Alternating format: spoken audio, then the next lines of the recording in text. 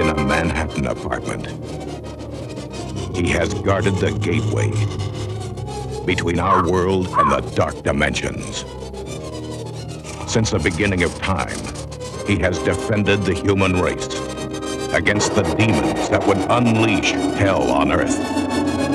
Now, he searches for the omens that will tell him evil's ultimate warrior has arrived, sent to weave the spells that will turn our reality into a terrifying realm of black magic.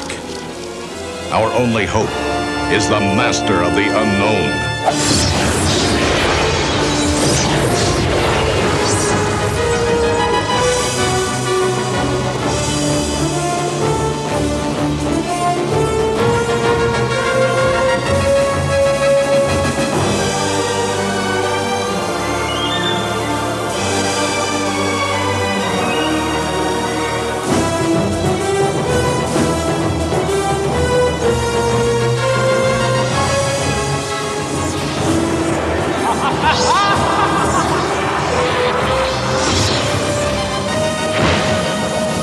Dr. Mordrid. The spell is cast this summer